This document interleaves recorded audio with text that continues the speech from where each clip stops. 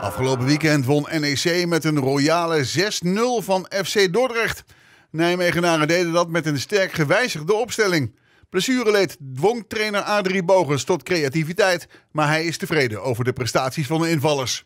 Ja, nou ja die, die hebben het wel aardig gedaan moet ik zeggen. En dan uh, kijk, iedereen kijkt naar de doelpunten. En dat is natuurlijk het allerbelangrijkste zou ik bijna willen zeggen. Maar ja, je kijkt ook naar het spel en wat je van ze verwacht.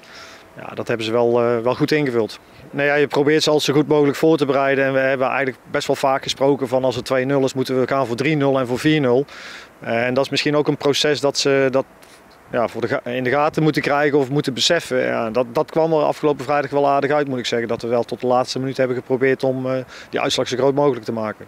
Larsson en Atjebar scoorden allebei. Sven Braken lukte dat niet.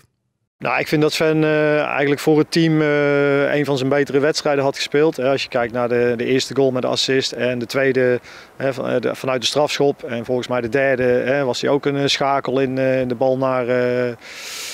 Um, even kijken naar Madijkstra toe. Dus ja, ik was over zijn spel heel tevreden. En ja, dan is het leuk voor hem dat hij eventueel een goal kan maken. Maar ja, dat is niet het enige waar ik een spits op beoordeel. Dus uh, ja, ja, die hebben het alle drie goed gedaan. De ziekenboeg dunt bepaald niet uit. Er komt er zelfs waarschijnlijk een bij met Breinburg, die uh, twijfelachtig is voor, uh, voor de wedstrijd tegen Os.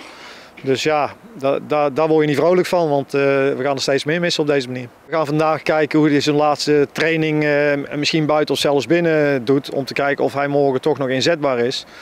Maar dat, dat is wel een vraagteken. FC Os, de tegenstander van aanstaande vrijdag. Ja, ik heb het idee dat, uh, dat Os wat meer uh, probeert te voetballen. Wat, wat voor ons ook wat, uh, wat makkelijker is.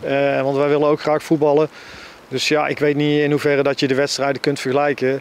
Uh, en ik zie dat ook helemaal, uh, de OS speelt helemaal anders met een ander systeem uh, als dat Telstar dat deed.